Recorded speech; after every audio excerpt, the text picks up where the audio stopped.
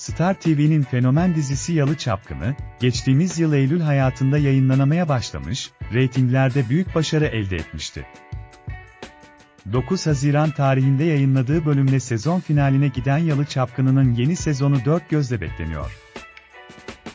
Dizinin hayranları sosyal medyada sık sık araştırmalar yaparken, Gözde Kansu bombayı patlattı. Dizide Ferit'in annesi Gülgün'ü canlandıran Gözde Kansu, sosyal medya hesabından yaptığı paylaşımla yeni sezon sinyallerini verdi. Afra Saraçoğlu ile pozunu yayınladığı ünlü oyuncu Gözde Kansu, Instagram hesabından Afra Saraçoğlu ile olan pozunu kızım Naber notuyla paylaştı. Gözde Kansu'nun paylaşımı kısa sürede gündem olurken, Yalı Çapkını hayranları dizinin çekimlerinin başladığını iddia etti.